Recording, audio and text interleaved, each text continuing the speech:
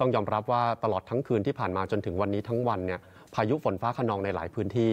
อย่างที่เราบอกเล่าไปนะครับว่าพื้นที่ของแหลมฟ้าผ่าเนี่ยหนักมากเลยที่สมุทรปราการ ครอบครัวหนึ่ง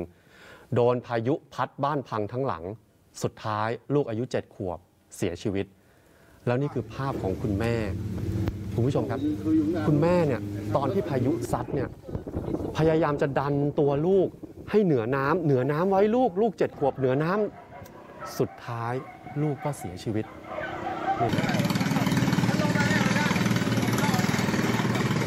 แสดงความเสียใจกับครอบครัวของคุณแม่ด้วยนะครับ ครอบครัวนี้เนี่ยมีกัน 3 คนคุณผู้ชม ขออนุญาตเล่าเหตุการณ์ให้ฟัง คุณแม่เนี่ยชื่อคุณแม่จงกล ลูกชายเนี่ยชื่อน้องก๊อบแก๊ปคุณพ่อเนี่ยเป็นพ่อเลี้ยง คุณแม่จงกลบอกว่า ตอนที่พายุมาเนี่ยได้ยินเสียงโครมโครมโครมบ้านเนี่ยสั่นทั้งหลังคืออย่างนี้คุณตูน ถ้าจะพูดเป็นภาษาชาวบ้านเนี่ยเขาก็จะเรียกถ้าอยู่บนบกจะเรียกขนำใช่ไหมค่ะแต่อันเนี้ยลักษณะคือเหมือนจะคล้ายๆ แพที่อยู่กลางทะเลเป็นพื้นที่สมุทรปราการ อืมทีนี้พอพายุพัดมาเนี่ยมันสั่นทั้งหลังเลย ตัดสินใจ 3 คนพ่อแม่ลูกลงเรือคุณผู้ชม พอลงเรือปุ๊บขับออกมาได้ระยะหนึ่งโครมบ้านไปทั้งหลังเลย อืมและพายุก็พัดจนเรือเนี่ยคว่ำพ่อเนี่ยถูกน้ำซัดไปอีกทาง แม่กับลูกกอดกันซัดไปอีกทางแล้วไปเกาะต้นไม้ อย่างที่บอกแม่ก็พยายามจะดันตัวลูกอะให้ขึ้นเหนือน้ำเอาไว้ แต่สุดท้ายลูกตายคาอ้อมกอดเลยครับ ไม่ได้ปล่อยมือไปไหนเลย ดันลูกให้พ้นเหนือน้ำตลอดเลย หนูคิดว่ายังไงก็ให้ลูกหายใจได้มากกว่าเราอะเป็นชั่วโมงอะเป็นกิโลอะหนูลอยของลูกอะเขาก็เรียกแม่แม่ตลอด จนถึงกิ่งไม้ที่เราฝาไว้ก็เรียกเขากับแก๊บกับแก๊บอดทนหนูนะลูกกำมือหนูได้ยินแม่ไหมเธอได้ยินแม่บีบมือแม่แน่นๆนะเขาก็บีบเขาก็รู้ยังมีลมหายใจอยู่ คุณผู้ชม คุณแม่จงกลบอกกับนักข่าวเราว่า อีกไม่กี่วันน้องก๊อบแก๊ปจะได้ไปโรงเรียน น้องก๊อบแก๊ปบอกว่าอยากจะใส่ชุดนักเรียนไปเจอเพื่อนใหม่ ปรากฏว่าน้องก๊อบแก๊ปได้ใส่ชุดนักเรียน แต่เสียชีวิตแล้ว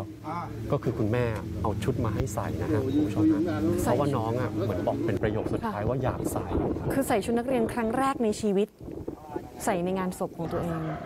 แสดงความเสียใจด้วยครับ และคุณผู้ชมครับ คุณแม่ร้องขอว่าจะไม่ส่งศพของน้องก๊อบแก๊ปเนี่ยไปที่สถาบันนิติเวชเพราะตอนนี้ไม่มีเงินเหลือสักบาท คือทุกอย่างในชีวิตเนี่ยอยู่ในบ้านค่ะบ้านเนี่ยพังไปแล้วทั้งหลัง เพราะฉะนั้นไม่มีเงินเหลือเลยสักบาทเดียว นี่คือภาพบรรยากาศของงานศพ ทีนี้ในพื้นที่ของแหลมฟ้าผ่าที่สมุทรปราการเนี่ยคุณผู้ชมครับ ไม่ใช่แค่เฉพาะบ้านหลังนี้เท่านั้น พายุพัดเนี่ยแทบจะทุกหลังเลยในชุมชนวัดครูนอกคุณผู้ชมฮะเจอพายุอย่างน้อยเนี่ยสิหลังคาเรือน